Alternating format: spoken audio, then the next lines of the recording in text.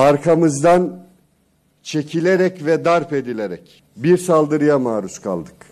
Burnu kırılan AK Parti Ankara Milletvekili Fatih Şahin ameliyat edildi. Burnunun kırılmasına fevkalade üzüntü duyduğumuzu AK Parti Trabzon Milletvekili Muhammed Balta da ayağından yaralandı. Bacağı yaralanan arkadaşımızın e, hadisesini sorumlusu olarak gösterilmekteyim. Bacağımı Cumhuriyet Halk Partili bir milletvekilinin ısırdığı kesindir. Genel kuruldaki bu tartışma MHP Genel Başkanı Devlet Bahçeli tarafından tebessümle karşılandı.